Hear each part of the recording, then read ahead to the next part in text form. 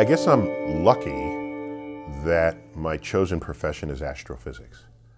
Because unlike so many other fields of study, especially academic fields of study, in my field, we have a essentially completely transparent lexicon.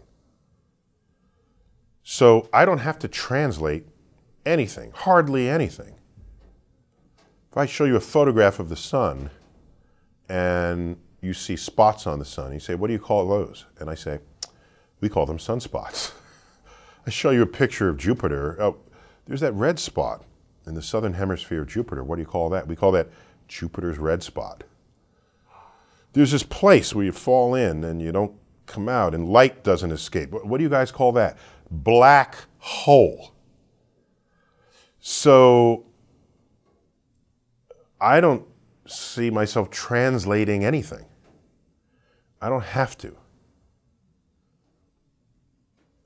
I celebrate discovery using all the language that is fundamental to my field. And what it means is to the person listening that they don't have to slog through, navigate through vocabulary to gain access to the interesting idea that's sitting on the other side of it. So uh, let's take biology, for example, and they're trying, they discovered deoxyribonucleic acid. Now, if you don't know biology, these are just syllables coming out of your mouth. Well, what is it? Well, it encodes the identity of life and it's in the shape of a double helix. So fortunately, double helix, that that's a word, and there's nothing else really that's a double helix. So that's kind of a translated term for deoxyribonucleic acid. But notice you spend all this time just getting through the word before you get to an understanding or a conversation about what it does and how it does it and why.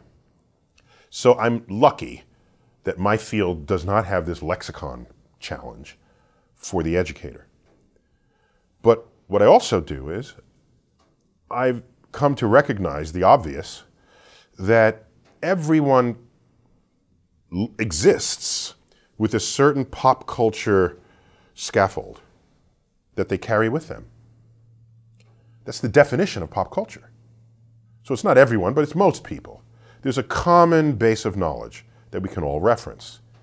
We all know what football is in America. If we know what, what we mean when we say football. What is baseball? Who is Beyonce?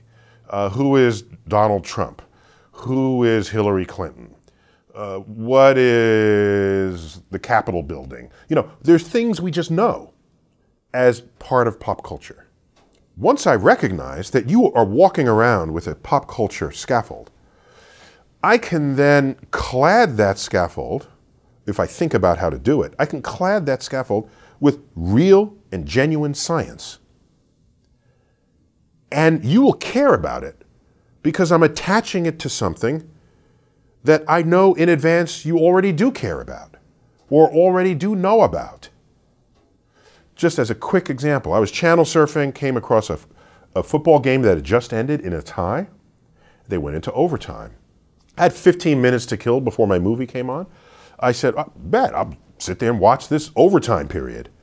And I'm watching it, and there's the requisite exchange of possession before you go into sudden death overtime.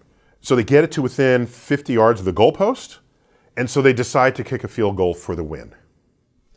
And so I'm watching this. Oh, this is, it's exciting, right? So then the ball gets hiked, the kick, the ball tumbles, and it heads towards the left upright, careens off the left post, and in for the win. And I said, wait a minute. Ooh. We have a round ball on a cylindrical uh, thing. So fractions of an inch matter which way this will bounce off of a post. So I said, let me check this out. So I checked the orientation of the stadium, the latitude of the city, and I did a calculation, and then I tweeted. And I said, the winning field goal by the Cincinnati Bengals in overtime was likely enabled by a third of an inch drift to the right enabled by Earth's rotation. And people say, oh my God, blow my mind. Oh, and the local news got it, everybody got it. And but just see what just happened there. So let's just see what happened there. I did not have to explain to you in advance what football is, what a 50 yard field goal is, what, an, what the goalpost is. I didn't have to explain any of that. You came to the table with that knowledge. And then I attached a relevant phenomenon in physics to it. And now these are forever connected within you. Of course, you want to know that the rotation of the Earth helped that field goal kick. Because a kick going due north or due south will be deflected to the right in the northern hemisphere.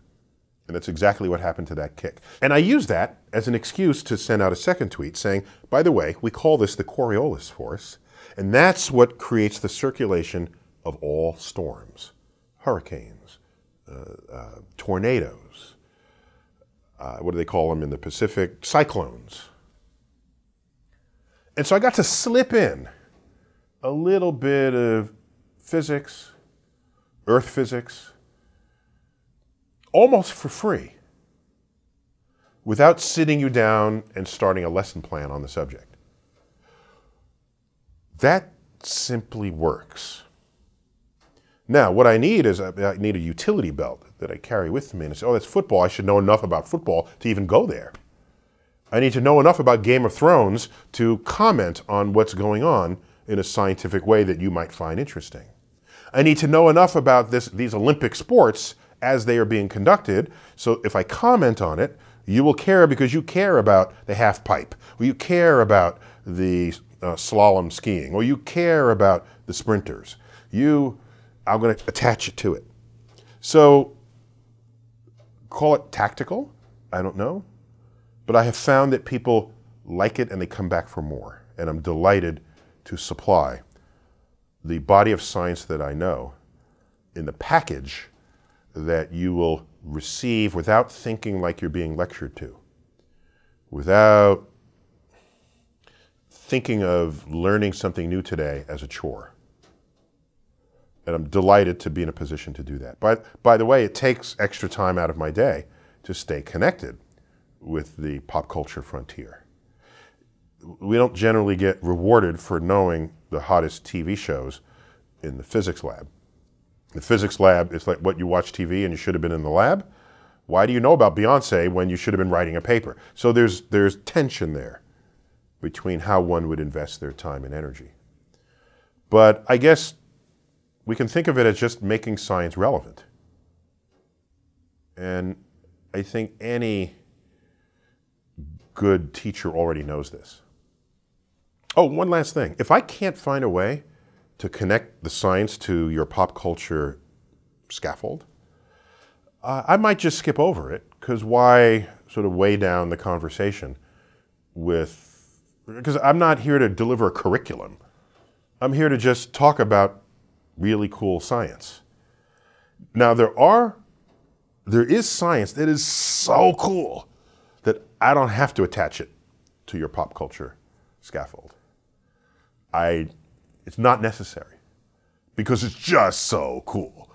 And so I will always sort of curate the content in ways that either deliver something that's so cool, I don't have to try to fit it into your pop culture scaffold, and other parts of science that I think are important, and I will find a way to fit it into what you care about.